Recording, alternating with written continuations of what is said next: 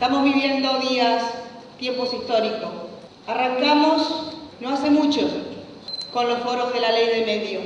Se dijo de todo. Corrientes, en este mismo lugar, hace no mucho, una ministra de Educación nos prohibió a dar el tratamiento de esta ley de medios. Solo queríamos debatir, escucharnos.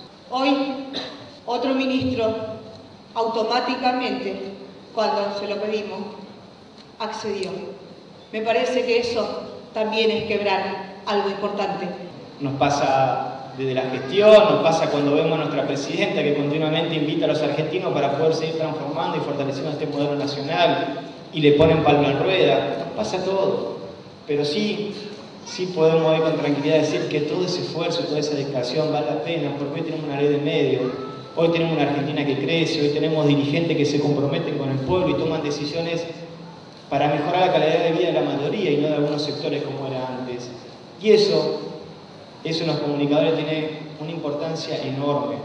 Poder seguir comunicando a los argentinos que sí se puede lograr sueños, que sí se pueden alcanzar objetivos, ser muy cuidadosos en la manera de comunicar. A quienes conducimos nos gusta que nos critiquen, pero que nos critiquen de una manera constructiva, porque nos hacen ver los errores para poder corregirlos, pero no cuando simplemente el medio de comunicación para destruir, para que una sociedad o que un país se derrumbe como ha pasado en otro momento. Que hay pluralidad de voces para disentir o para dar su opinión. Acá se firmó un convenio, la autoridad tenía facultades para ello con la Universidad de la Cuenca del Plata, está firme, y escuchamos todas las voces, aún para protestar cuando se considera de que el ámbito público también tiene que participar. Hoy lo decía el rector, tiene que haber una conjunción entre lo público y lo privado. Una cosa no quita a la otra. Nosotros eh, peleamos por una nueva ley de servicios de comunicación contra todo un sistema que estaba implementado de determinada manera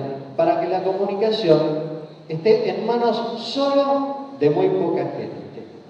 Yo digo que fue una ley cronológicamente al revés. Antes nosotros nos enterábamos, una vez que se había votado la ley, nos decían, che, se votó esta ley. Ajá, mira vos, en esa ley no. Esa ley surgió primero de la gente. Esa, esa cuestión de surgir de la gente terminó en una Cámara de Diputados y en una Cámara de Senadores, siendo votada por mucha más gente de la que nosotros, mucha más digo, este, representantes, ¿no? tantos diputados como senadores, de lo que nosotros ni siquiera, los que habíamos peleado por la nueva ley de medios, nos podíamos llegar a imaginar. Nuestra presencia acompañando una ley, una ley de medios que ha transformado en Argentina, una ley que, que realmente permitió incluir, permitió que se pueda entender cómo funcionan los medios a toda la sociedad, no solo a los comunicadores, sino a toda la sociedad. Hoy nuestra sociedad puede analizar en función a este debate que se generó en toda la Argentina, analizar qué es lo que se está comunicando, hacia dónde se quiere ir los diferentes medios y pueden analizar eh, y pueden ver y sacar sus propias conclusiones que por ahí antes estaban demasiado direccionadas.